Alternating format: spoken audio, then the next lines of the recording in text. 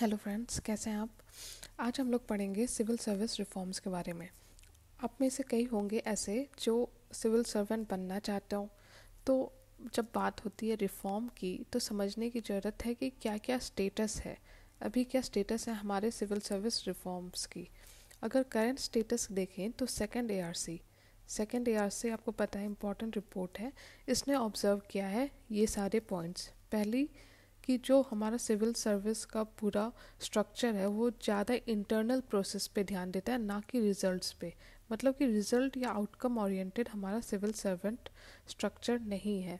दूसरा कि बहुत सारे रिजिडिटीज़ और कॉम्प्लेक्सिटीज़ हैं मतलब कि ब्यूरोक्रेटिक हर्डल्स हैं। मतलब कि अगर ईज़ ऑफ़ स्ट्रक्चर नहीं है।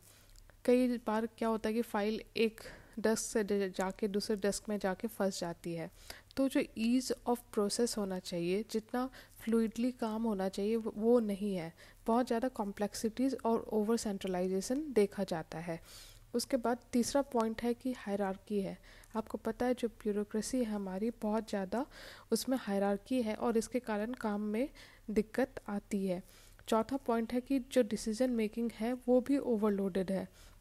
इन द सेंस कि अगर हम हमारे सिविल सर्वेंट स्ट्रक्चर को जो हमारा पूरा एडमिनिस्ट्रेटिव स्ट्रक्चर है उसको चेंज करना चाहें तो बहुत ज़्यादा रेजिस्टेंस आता है। हर एक सिंस uh, हमारे सिविल सर्वेंट ही हैं जो डिसाइड करते हैं जो कि uh, पूरा पॉलिसी का डिज़ाइन तैयार करते हैं लेकिन देखा गया है कि उनके साथ ये प्रॉब्लम है कि वो चेंज को आसानी से एक्सेप्ट नहीं करते हैं। जैसे कि लेटरल एंट्री हो गया या फिर जो ट्रेनिंग रिलेटेड चेंजेस ज़रूरी हैं विद टाइम वो कम देखे जा रहा है। पांचवा पॉइंट है कि शिफ्ट करने की ज़रूरत है from pre eminence of governance to effective governance आपको पता है कि गुड गवर्नेंस का बात हो रहा है बेटर गवर्नेंस का बात हो रहा है तो साथ में ज़रूरी है कि हम इफ़ेक्टिव गवर्नेंस की तरफ़ जाएँ। इससे क्या होगा कि हम बेटर डिलीवर कर पाएँगे। जो भी पब्लिक यूटिलिटी है पब्लिक डिसीज़न मेकिंग सारा कुछ ज़्यादा इफ़ेक्टिव हो पाएगा। तो ये सारे आपके सेकेंड एआरसी के रिकमेंडेशन है, या ऑब्जर्वेशन है। सेकेंड एआरसी आपको, आप कोड कर सकते हो जब भी आप इस इस बारे में बता रहे हो। अगर हम रिलेशनशिप देखें बिटवीन सिविल सर्विस और डेमोक्रेसी तो बहुत ज़्यादा पैराडॉक्सिकल भी है और कॉम्प्लीमेंट्री भी है। एक तरफ़ डेमोक्रेसी को प्रमोट भी करता है सिविल सर्वेंट और दूसरी तरफ़ एक उलझन भी क्रिएट करता है डेमोक्रेसी के लिए तो दोनों चीज़ है। इफ़ेक्टिव डेमोक्रेसी के लिए हमें ज़रूरत है कि हमें ब्यूरोक्रेसी की ज़रूरत है। मतलब कि सिविल सर्वेंट के बिना डेमोक्रेसी इफ़ेक्टिवली फ़ंक्शन नहीं कर सकती। हम अपने सिविल सर्वेंट के कंधों पर ही रख के कहीं ना कहीं डेमोक्रेसी चला रहे हैं। तो उनका रिफॉर्म रहना, उनका ट्रांसपेरेंट रहना, उनका गवर्नेंस में इफ़ेक्टिव रहना बहुत ज़्यादा ज़रूरी है। लेकिन यही बात लिखी गई है कि it brings predictability and impartiality to democratic governance हम सिविल सर्वेंट पे रिलाई करके तो प्रोडिक्टिविटी की बात कर रहे हैं ट्रांसपेरेंसी या इम्पार्शलिटी की बात कर रहे हैं। इसलिए तो हमें एथिक्स भी दिया जाता है जी एस फोर जो है हमारा, जो कि एथिक्स रिलेटेड है। क्यों? ताकि हमारे अंदर इंटेग्रिटी रहे, ताकि हमारा कैरेक्टर अच्छा हो, ताकि हमारा वैल्यूज़ अच्छे रहें, ताकि हम करप्शन में ना जाएँ। ठीक है? अगर हम देखें रिफॉर्म्स क्या क्या चाहिए? सेकंड एआरसी ने जो रिकमेंड किया है, जो कि आप अपने आंसर में लिखोगे तो वो डिवाइड कर सकते हो आप। पहला है आपका स्टेज ऑफ़ एंट्री दूसरा ट्रेनिंग एंड कैपेसिटी बिल्डिंग तीसरा placement at middle and senior manager management चौथा deputation to organization outside government पांचवा परफॉर्मेंस मैनेजमेंट सिस्टम और छठा मोटिवेटिंग सिविल सर्वेंट्स तो इस तरह करके आप डिवाइड कर सकते हो ताकि आप अपने आंसर को बेटर आउटलुक दे सको।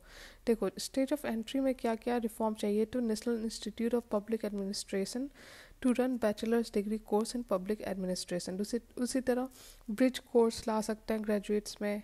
इंडक्शन हो सकता है office of the state civil servants into the I S ठीक है जो ये वर्कफोर्स है, जो कि अल्टीमेटली जाके आईएएस बनती है, इनका बेटर ट्रेनिंग हो सकता है कहाँ कहाँ पे? तो ग्रेजुएट लेवल पे थ्रू ब्रिज कोर्सेज फिर जो स्टेट सिविल सर्वेंट है, जिनको चूज़ किया जाता है to be inducted in all India services उनका भी दूसरा कि जो national institute of public administration है, इसमें एक बैचलर डिग्री दिया जा सकता है, जो कि यही पढ़ाए।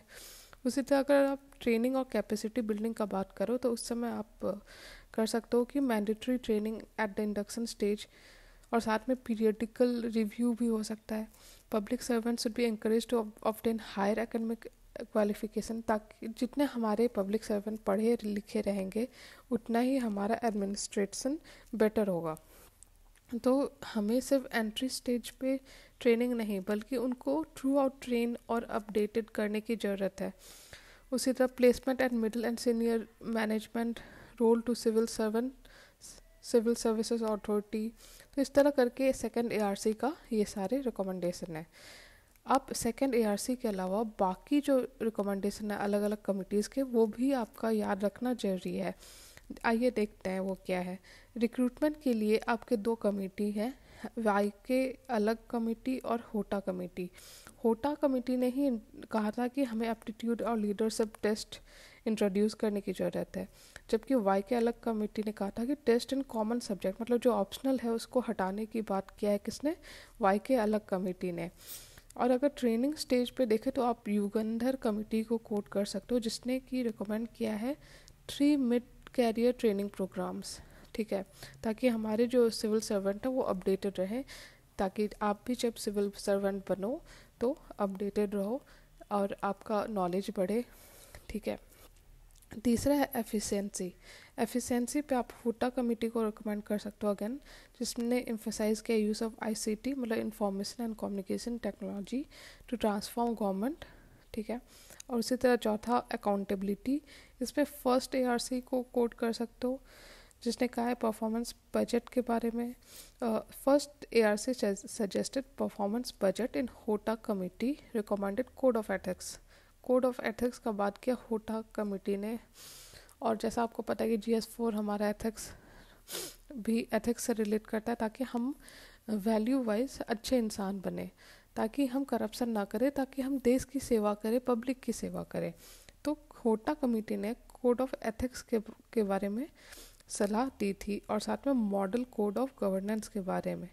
उसी तरह परफॉर्मेंस अप्रेजल के बारे में हमारे सुरेंद्र नाथ कमेटी ने रिकमेंड किया है परफॉर्मेंस अप्रेजल, ताकि जो ओवरऑल डेवलपमेंट ऑफिसर का वो सही रहे। तो ये सारे रिकमेंडेशन हैं अलग अलग कमिटीज़ के जो कि आपको कोट करना है। तो इस तरह से हमने सिविल सर्विस रिफॉर्म में पहले तो समझा कि सेकेंड ए ने क्या कहा है करंट स्टेटस के बारे में। उसके बाद हमने समझा रिलेशनशिप बिटवीन सिविल सर्वेंट और डेमोक्रेसी उसके बाद हमने सेकेंड ए के रिकमेंडेशन को पढ़ा और बाकी जो कमिटीज़ हैं उनको भी देखा। Thank you